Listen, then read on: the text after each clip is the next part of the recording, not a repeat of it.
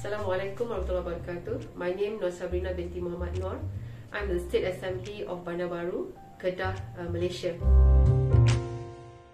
What is our obstacles to equal representation in our country of parliament? Why candidates of women been named as the representative from their political party to be elected in the uh, general election. Because now there's no discrimination on women's uh, in our country. Sexism is the uh, prejudice based on the sex gender, which is either uh, women's or men can be elected and success uh, to be a political leader. It take into account is the service of member of parliament. Is is the service uh, to peoples.